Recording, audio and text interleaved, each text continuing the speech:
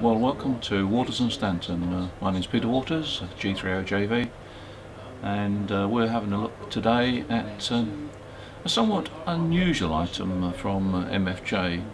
It's uh, quite a useful item for checking power line noise and also for listening to um, other supersonic audio signals such as bats and uh, various insects and animals and so forth. So I thought the best thing we can do is actually to have a look at the MFJ, the manufacturer's own video and see what they have to say about it and to demonstrate this item. A lot of times the noise is coming from just outside your doorway from the power lines and power companies are usually willing to help out with these issues but they may not have the equipment that you need to hunt down which insulator is actually arcing. The MFJ 5008 aids in locating the noise sources generated by corona discharge and arcing components on the power system. The device is an acoustic receiver tuned to the ultrasonic range of 40 kHz, allowing you to hear ultrasonic noise generated by the corona discharge and arcing connections that generate power line static on your radio. It's an 18 inch diameter plastic dish that gives a narrow beam width to pinpoint the noise source to less than 12 inches at 50 feet away.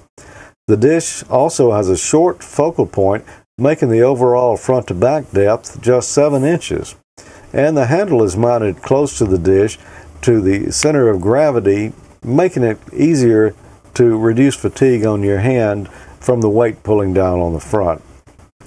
Not only can you use the MFJ 5008 to find power line noise sources, you can also listen to a wide variety of natural sounds. In the ultrasonic range, you can hear bats, birds, and insects. The MFJ 5008 can give you a whole new perspective on the wildlife around you. So that's it, that's the MFJ 5008, which um, is a great item for trying to uh, listen to frequencies which are way above the human hearing.